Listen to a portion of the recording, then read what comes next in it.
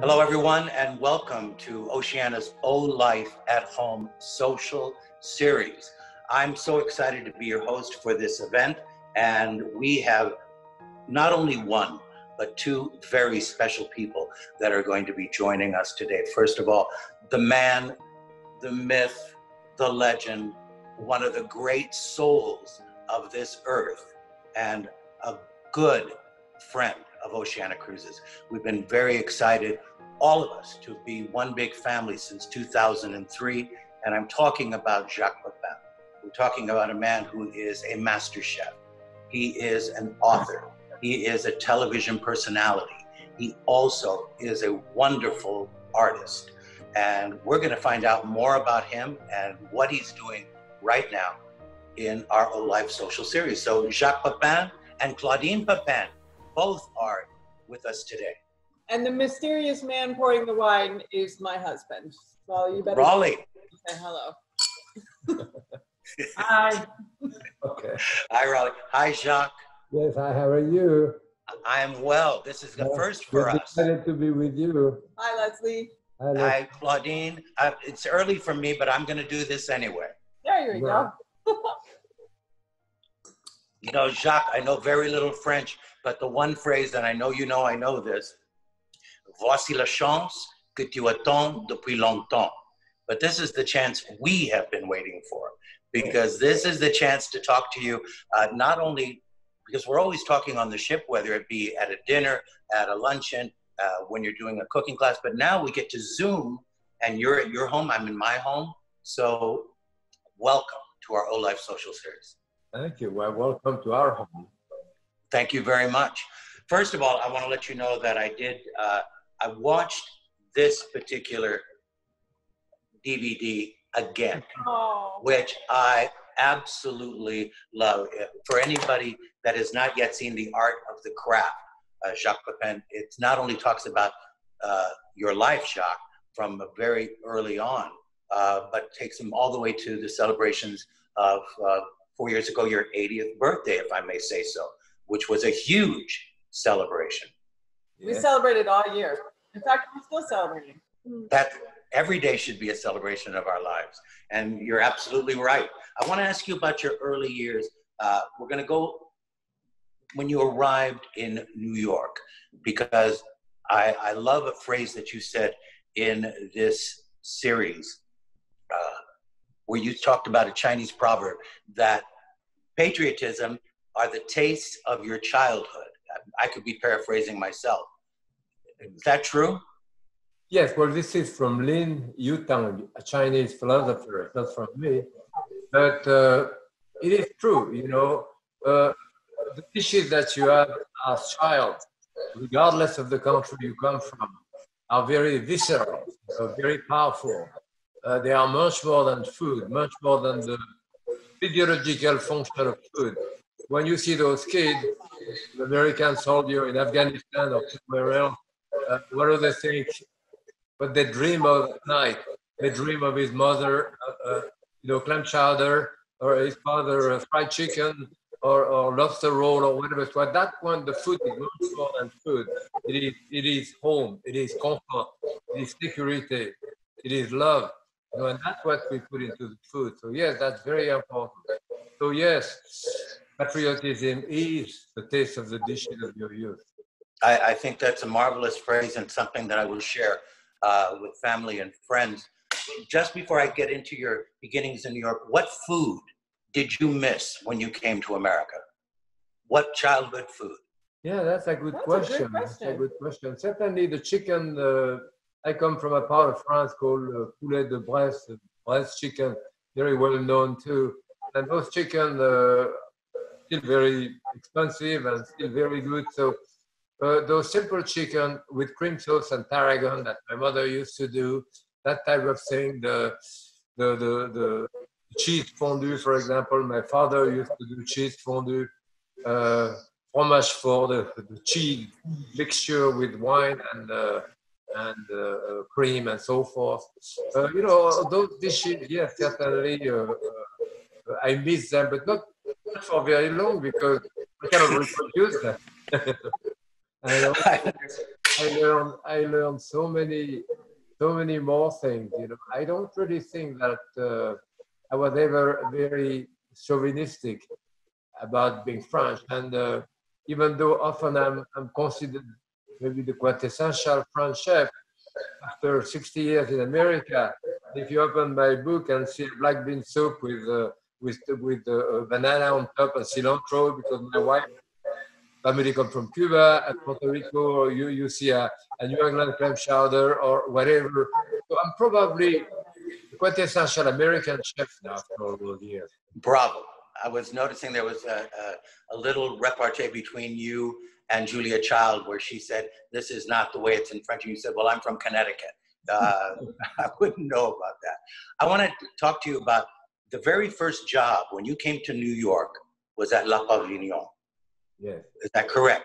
And then you served was probably one of the world's best restaurants, at least in the United States. But then you had a gentleman named Howard Johnson that used to, who was a gourmet himself, that used to come in and lured you away from accepting a job at the White House under the Kennedy administration to work for him at Howard Johnson. How do you how did you make that decision? you have to realize at the time, you know, the cook was really at the bottom of the social scale. Any good mother would have wanted her son or daughter married a, a lawyer or a, a doctor, certainly not a cook. But now we are genius. I don't know what happened. quite, quite different than it used to be. So, you know, I was proposed a job at the White House for Kennedy. But in the context of the time, for me, I had done that in France with a couple of different presidents, and I'd never been on a newspaper, on a magazine. That did not exist. The cook was in the cook, but no one ever came to the kitchen to to uh, you know. The, there was no kudo in the dining room. You, you never were invited, and so forth. So that didn't exist. So frankly, I did not realize the potential of going to the White House, and I had done it, and I wasn't particularly interested in doing that again. On the other hand, Howard Johnson, uh, I went there to see those 500 gallon kettles at the commissary with enormous production, American eating habits, and all of that type of things. That was exciting to me, exciting and different. And frankly, I worked for Howard Johnson for 10 years, 1960, 1970. Then I opened a restaurant called La Potagerie in New York on Fifth Avenue, mass production of, of, of soup. Then I opened the World Trade Center with the whole commissary. Then I was a consultant at the Russian Tea Room in New York. I'm saying all of that to say that I could never have done any of those jobs if I hadn't done Howard Johnson. But another training altogether. Before you were offered the job at Howard Johnson, had you ever been in a Howard Johnson? No, never. I didn't know the name. But Mr. Johnson, as you mentioned, Howard D. Johnson, the father, but was uh, one of the clients at the pavilion and all that. And he was really an extraordinary man to me. I remember he came to my wedding in 1966 at Craig Claiborne in East Hampton. And I picked him up. He had his boat, so I go pick him up. And he was sitting on a case of Dom Perignon waiting for me outside with this. Then he came to the christening of Claudine and so forth. So he was really, uh, yeah, a very extraordinary man. Wonderful. Uh, you, I know you have 1,000 stories. We don't have a lot of time, but there's some things that I want to cover. I know that you did What's My Line. I know that you did some of those early television shows, which fortunately we are able to see many of those moments uh, via YouTube. What got you, or who got you, to do one of those shows?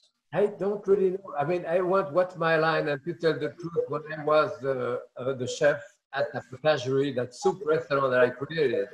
So, you know, I remember in to tell the truth, there are two other Frenchmen much bigger than me because at that time I was 30 pounds lighter than I am now. I was very thin. But they took two fat Frenchmen and say which one is the chef of the three because they all pick up the other one. But uh, I end up here, and after What's My Line, I don't know, people ask me, and uh, because of the potagerie and other things, it was the beginning of uh, of uh, me going on television, and uh, you know, it was fun. Yeah. Were you nervous at all when you started those shows? Uh, not really. I mean, I'm usually most of the show, basically all of the show that I have done involve cooking. And when it involves cooking, as soon as I get to the stove and I start cooking, then I kind of forget about uh, the television. You know, so for me, if I do something that I like to do, that I feel comfortable with, then it's fine. Doing those early shows, what's my line to tell the truth, etc. Did that give you the confidence then to be one of the pioneers, as everyone states that you are, of early cooking on television? Well, really, frankly, this was just luck. You know, people ask me to go on television. To be a child that started on television in 1964, and we were very friends. So I did my book of La Technique, and Julia said, "This is fantastic. You have to go on television, show them those techniques." So she sent me to see the program uh, director, whatever, at WNET in New York. Uh, and uh, yeah, yeah, no, we are very interested too. And that was about the end of it. For year, two years, I never heard of anyone. Now another big station, uh, WGBH in Boston, asked me the same thing too. Come to, oh, we're interested in doing something with you. And I say, great. I never went anywhere because they raised money. So already a question of raising money. So uh, one time I was giving classes in California. I was actually giving classes at Martin Yan, where the cooking school in Palo Alto there. And uh, so I went there and he told me, you know, KQED, the PBS station in San Francisco, want me to do a, a show with you. Can you come and do it with me? I said, yeah, sure. So we want to do it together. And then the producer here, a week or so after, she said, you know, we'd be very interested in doing something with you. I said, yeah, sure, fine. But it happened several times. No one did anything. So he said, he said, can you tape like next summer? I was giving classes all over the country during the, the, the so I said, yeah, next summer fine. Well, uh, she said we will have the model by, by January. We never had the model by January or February or March. So I was ready to go to France and I did during the summer. And all of a sudden they said, we have the model, you start in six weeks. I had no recipe. So this is when I start the first series that I did, Today's Gourmet. And I think you, you went on the first series, right? Today's Gourmet. Yes, of she was she was in college at the time. Uh, Now was- that was in San Francisco, right? right. It was in San Francisco But Claudine was in college at at BU at Boston. Yeah. because I've seen so many of the episodes where Colleen is uh, that Claudine is there and she is learning on the spot. How true is this? It's very true. I mean, honestly, if my father was a brain surgeon, you wouldn't say, "Oh, I bet you know how to perform surgery." I, I mean, I, I didn't cook. I didn't want to cook.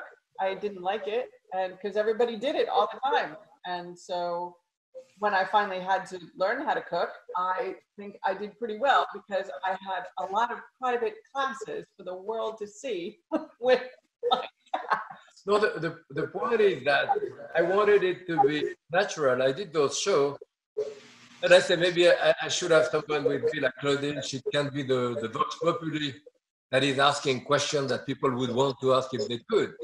And speak to people with a better accent than mine so they could understand what she was saying. And uh, so she came. And, uh, but most of the time I didn't even tell her the menu that we were doing. So she didn't know. She wasn't particularly interested. When we started, she said, "Wow, that's how you do that." And we were, it's fake, but it wasn't fake. She didn't know to do. Well, it's fun to watch you cook both together, and I'm sure that the experiences in your homes during the holidays has to be unbelievable. Of course. How does cooking. It's rolling. Really? It's, it's terrific.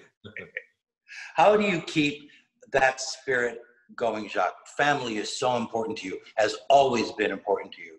It's the heart and soul of so much of what you represent to other people. Friendship. You have had long life friendships that need cultivating. People have to work at being friends.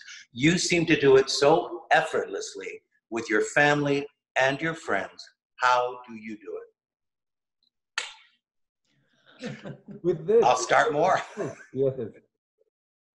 Now, yes, I mean, uh, you know, in what we do, especially now, we can see that in the time of the pandemic and all that. People getting back at home and cooking together and being together. I mean, this is maybe the most ultimate part of what civilization is. You know, to cook, to sit down, eat together, and talk. This is what it is. And in cooking, as we do, as I see in the kitchen on the ship, you know, when I go there, uh, there is no political application, racial application, gender application. We have this in what we do. Uh, as I say, everyone is the same uh, in the eye of the. So this is the, the kitchen. And uh, so, yes, uh, uh, cooks are very generous in general. And you can see that now in many, many ways, from Jose Andres to Ming Tsai, giving their time, cooking for people and so forth. And even for us, been doing close to a hundred now of video for Facebook. Claudine is doing Facebook, and uh, it's amazing. You know? you yeah. say that? I mean, people people love going on my father's Facebook page, which I manage, because it's just like a really easy little recipe. Like um, we did French toast, and he uses ice cream instead of the milk and eggs and all of that stuff. He just melts ice cream. Why? Because he learned that at Le Pavillon, I think so. No, at no. the Plaza, Plaza in Paris. Paris. Yeah. So you know, like little useful tips on how to make a nice little dinner or something interesting, and it's all there. It's all. There. Well, I'll tell you, I uh, have resisted Facebook for a very long time, but I am going to join just so I can be a part of learning how to do some cooking tips. Uh, Jacques, I know that cooking has been and being a chef all your life, and your family is incorporated your granddaughter, Shorey, Rollie, your son-in-law, Claudine, everyone. Is this now a family business? Well, it's a family business in the sense that, you know, regardless of what you do, you always have to eat. So when all has been said, the three hours after you finish eating or five hours after you say, what are we going to have for dinner? So we always go back to this. And for us, it's always been part of, uh, certainly one of the biggest differences when I was a kid, we were maybe closer to Mother Nature. I mean, you know, going to the market, getting the food. I was eviscerating chicken, was killing fish too when I was 13 years old because the market and going there, there was no, everything was organic, even though the word organic did not exist, but we didn't have any, uh, uh, you know, any type of fertilizer and uh, fungicide, insecticide, or stuff like this. So we are pretty close to Mother Nature. So for me, I was always this way. When she was small, uh, you know, I could hold her in my arms. She was a year old and she stirred the pot. We cooked her. So she, quote, made it she stirred the pot. So she was going to eat it eat it because we never discussed the menu uh, with the kid. We that what we cooked. And the same thing with the Shorey, you know, my granddaughter, I mean, Claudine's daughter. So the same thing, since she was small, you know, I could tell her she came in, she was three years old, say, get me parsley. No, that's sharp. No, that's parsley. Taste it. Or I take her to the market and say, get me some pear. Make sure they are ripe. Smell them. They smell good too. So, you know, the kid get involved in the food, in preparing the food. And that lead to conversation around the table. That lead, you know, it's a, it's a kind of canvas uh, against which I can discuss because otherwise what do you discuss with a kid with 15 16 years old with an iphone and, uh, and all that stuff so, so food is a common denominator for us in many ways well you've you've helped new cooks like me someone who's trying to learn how to cook that will soon be making french onion soup in oh. this bowl. Uh, you've made it easy because you you tell us not to worry if you make a mistake. You know so many so many of us that are that are cooking now especially that i have time at home to uh, not feel bad about making a mistake move on. Yeah absolutely. Drink more wine you don't care anyway so much has been talked about uh, your life as a chef and a man of great spirit i'd like to talk to you a little bit about your art the the passion that you have for uh, the many beautiful drawings that we have on our ship, the paintings that we have on our ship, but mm-hmm. also uh, I recommend everyone should get this book. This has been a book that I have shared with so many people because they have their recipes that they think about. But the way you have illustrated the menus, uh, the joy of the dinner comes even before the joy of eating the dinner because you look at this beautiful art. Where did you come up with this concept? And it's magnificent. Well, you know, we have 12 of those book of menu at home. Starting, I've been married 54 years now. So started 52 years ago or so. We decided when people came to the house, my mother came from France, we write the menu we did and people sign on the other page. And sometimes I did drawing, sometimes I didn't. Now I usually do drawing. The point is that if I look at those 12 book of menu, I can tell you what she has for a second birthday. Look at it too. You know, so this is a whole life. We have a whole life in those menu and the people who were there. And I can look at them now and it's great. So this one is dead, this one is dead. Oh no, I'm kidding. uh, when we look at those, those menus, but uh, uh, yes, it is great, uh, great memory, you know, to, to remember those times, even to remember the way the cooking changed and what we used to do, what we don't do anymore. And that led to other type of, uh, when I was at Columbia University, I took a class in painting and in sculpture and drawing one, and uh, kind of uh, me in that direction. And then we rented a house uh, way before I was married in Woodstock, New York. Uh, Woodstock is a kind of, uh, uh, you know, artist, uh, uh, artist little village and so forth, New York in the Catskills. So we started refurnituring. I love to work with my hands. So all piece of furniture, we're trying to redo the piece of furniture. We're starting to work on this.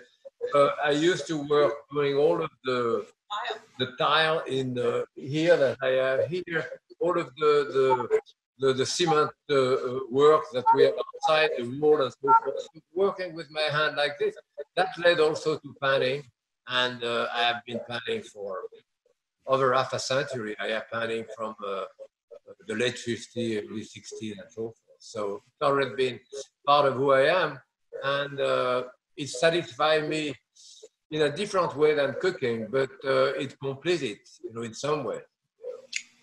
Uh, Jacques, do you have a favorite work of yours that you have painted over the years? And if so, where is it?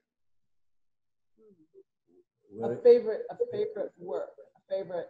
Painting? No, yes, you do. I do. Yeah, we have one right here. Here, this can be your favorite. Oh. It changes every day. This is one of my absolute favorites. Oh, okay. This is, this is an abstract. Claudine liked my abstract more. yeah, this is no. But uh, that one is that one is really special. I'm sure you couldn't really see it very well, but it's a really special piece. The point well, is, the beauty of it is that I have been back to France with my mother or some of my parents, or friend of painting from 40 years ago, 50 years ago. I look at those and I'm kind of amazed. I know that I could never do that again. I could never do it this way. I don't feel this way. I don't look at it this way too.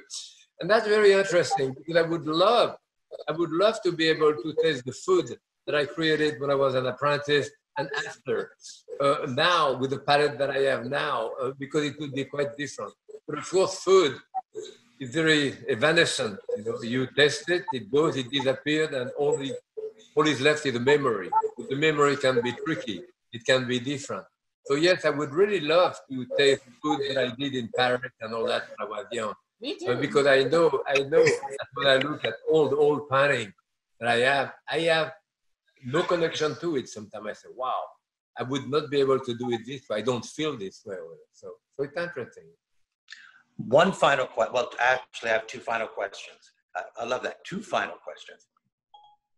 This bowl, which will be filled with onion soup, has the rooster, has your iconic rooster on it. And when I was watching this wonderful DVD for the 10th time, the line I love is that where you were born, chicken is a religion. So, where does this iconic rooster come from, from Jacques Well, to start with, as I said, you know, I was born in a town called Bourg-en-Bresse in France. The chicken of Bresse, B-R-E-S-S-E, are the best chicken of France. And uh, so they have blue feet. Well, they, they are like the French flag. They are white chicken, Yep. red cock, and blue feet. And Bleu, blue feet. blanc, rouge, you know, so the color of the French flag. So uh, I don't know, for some, some reason, I started doing some of those chicken uh, and uh, it kind of multiply. And actually, I just finished a whole series of chicken vegetable or chicken fruit. That is, I transform a, a, a pineapple into a chicken. I transform a bunch of leek into a chicken. I have a whole series of those Yeah. uh, into a painting. Yeah. Yes, so I have a whole they're, series of really, that. they're really, really beautiful. I Yeah. have one that that is all apples. The, the chicken is all apples. It's beautiful. Gorgeous. Well, your artistry, your uh, your presence is is a gift to all of us.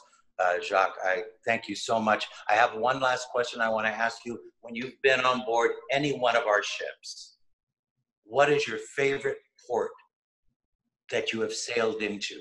That the memory of sailing into a port is something that is with you. Wow, that, that's uh, that's uh, a difficult question. Uh, I have so many favorites for different reasons, but uh, Monte Carlo would be a, a good place, right? I mean, Montenegro, uh, right? Montenegro was pretty spectacular. Oh yes, when we went, uh, yes. So, oh yes, that was good. And in uh, Slovakia and all that on that part of the world too, uh, uh, it's so difficult because from London to to to uh, to Brest to whatever. Yeah. Sure.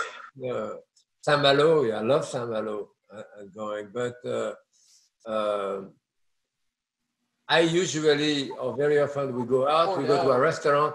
I like to go to the market wherever I am, usually Portugal, uh, Spain, uh, Italy, France.